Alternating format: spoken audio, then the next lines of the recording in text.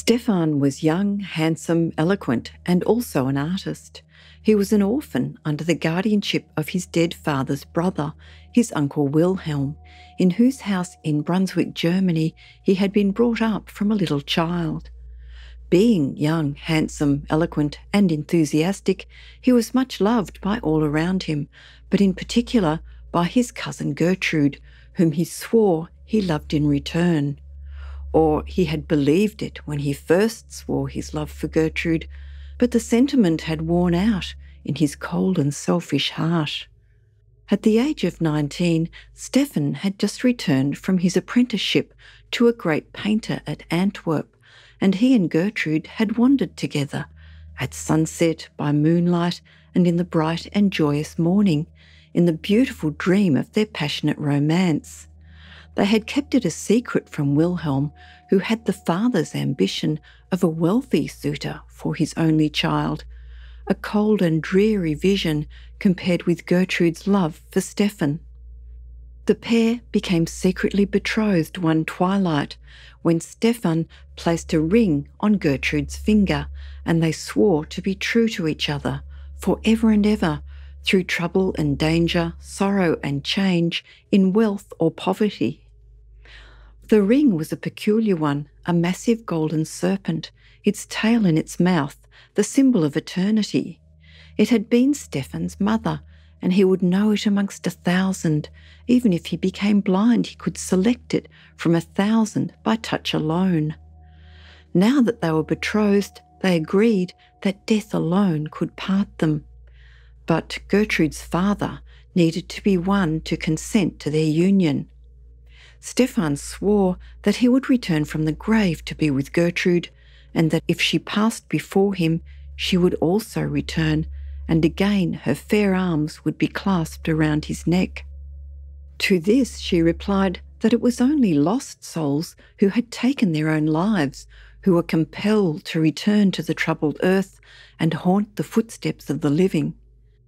They had been betrothed a year when Stefan again had to leave, this time for Italy, on a commission for some rich man to copy Raphael's and Titian's in a gallery at Florence. He had gone to earn an income and perhaps win fame, but was still missed by Gertrude and Wilhelm, who believed that his daughter's sadness was no more than a cousin would feel. Over the weeks and months, Stefan wrote, often at first, then seldom, and at last not at all.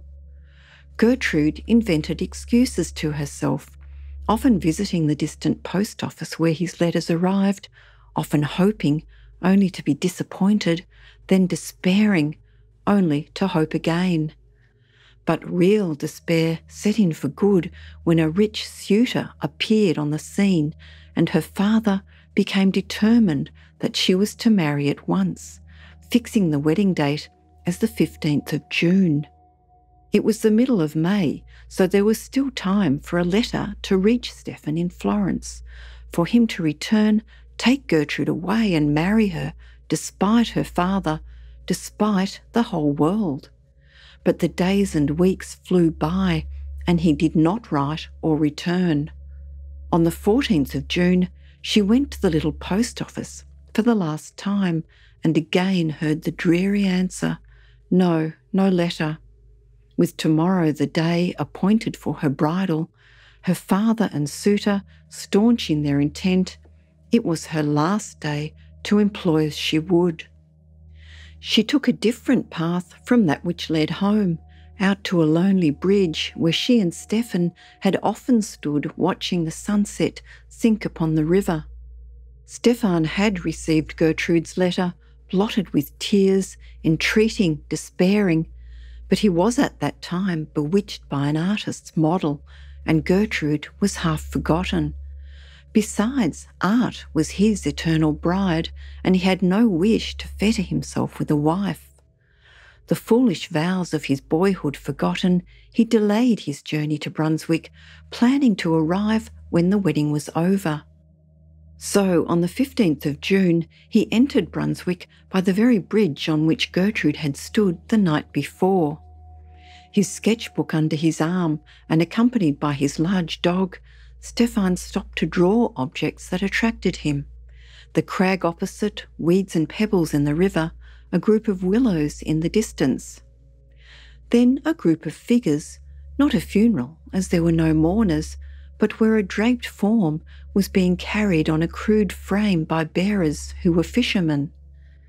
The men formed a perfect group when they rested their burden on the riverbank and sat down, and Stefan began to sketch a hurried outline. Eventually, he joined the men and inquired if they were carrying a body. Yes, they replied, a lovely young woman who had drowned, washed ashore an hour ago. Of course, the artist wished to draw the lovely corpse and gave the men some money to remove the rough sailcloth they had used to cover her.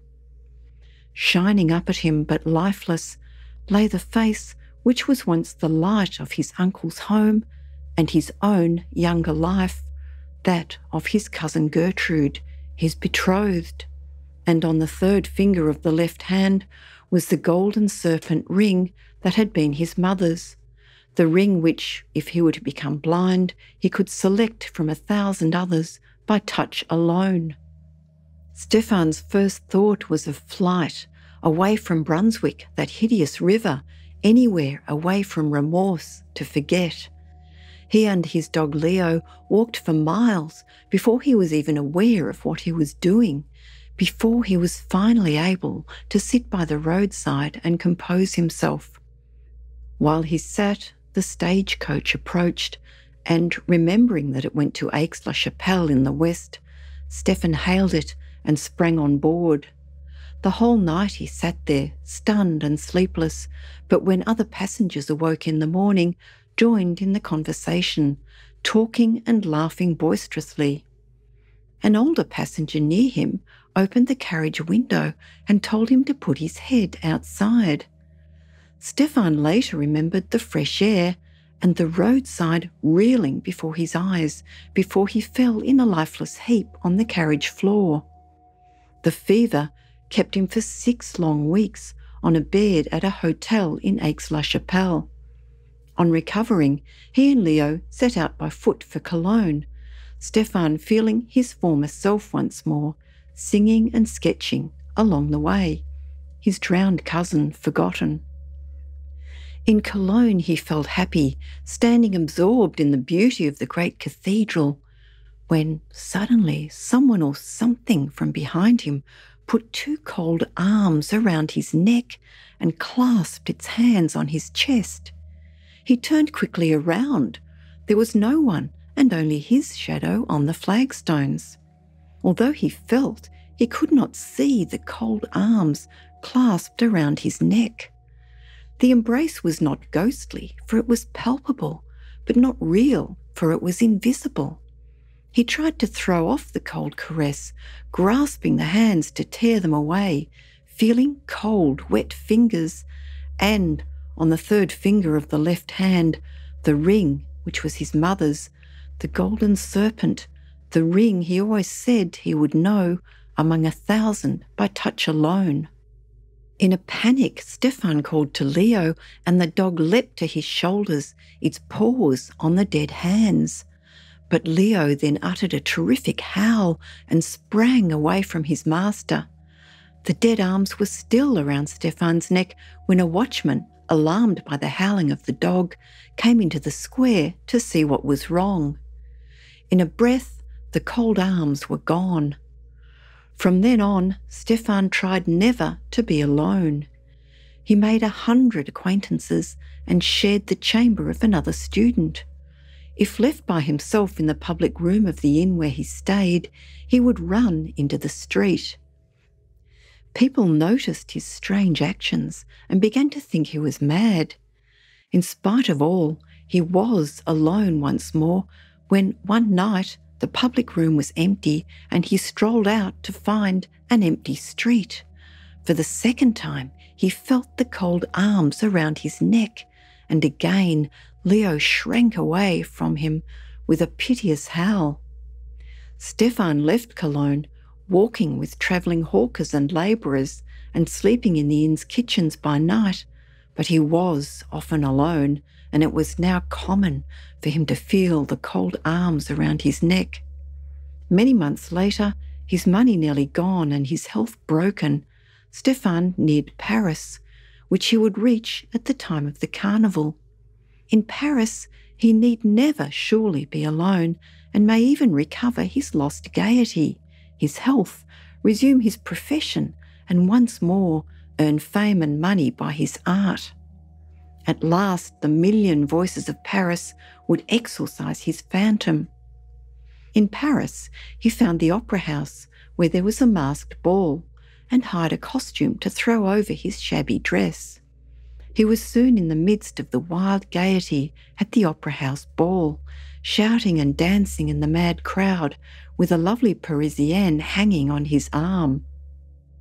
His old light-heartedness was surely coming back, while strangely he heard people around him talking of the outrageous behaviour of a drunken student and pointing at him. But he had not had a drink since yesterday at noon. Oddly, to him his voice was sounding thick and hoarse, his speech indistinct. The small Parisienne was wearied out, her arm resting on his shoulder heavier than lead, and the other dancers, one by one, dropped off. The lights in the chandeliers and glimmering lamps died out as cold grey light from the newborn day crept in through half opened shutters, and the brightness was gone from the eyes of his fading companion. He was alone in that vast saloon, with no music save that of his beating heart. The cold arms were around his neck, whirling him around, their icy grasp inescapable, still invisible, and bearing his mother's ring. Stefan found he had no power to shout, his dancing footsteps the only sound echoing in the empty hall, as he surrendered himself to the cold hands clasped on his chest. The lights all now out, half an hour later, the gendarmes came in to see that the house was empty, followed by a great dog they found seated howling on the steps of the theatre. Near the main entrance, they stumbled over the body of a student who had died from lack of food, exhaustion, and the breaking of a blood vessel.